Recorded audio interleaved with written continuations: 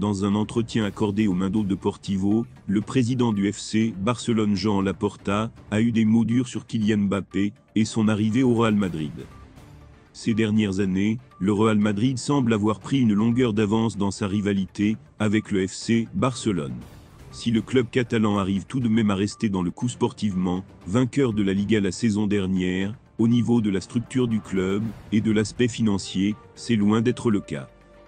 Le Barça continue de s'enfoncer dans une crise économique et essaye tant bien que mal de rester compétitif avec peu de moyens.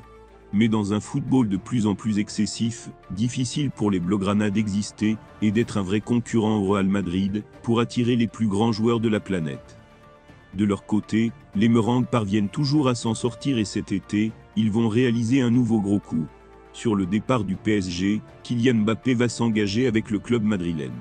Un renfort XXL d'aussi bien sportif qu'économique qui confirme aussi que le Real Madrid n'est plus dans la même catégorie que le FC Barcelone, qui peine à conserver des joueurs comme Joao Cancelo ou Joao Félix. Et l'arrivée de Kylian Mbappé va encore creuser l'écart sportif qui existe entre les deux équipes. Du moins, pas pour Joan Laporta.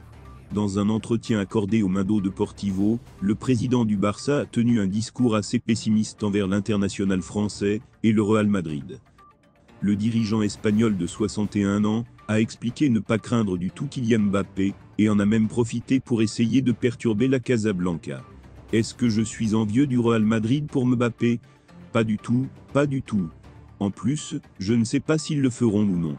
On verra, a-t-il d'abord lancé avant d'être relancé sur la probabilité que l'attaquant du PSG débarque cet été? Si j'ai une information, non, j'ai de l'intuition. Là, ils ont un problème.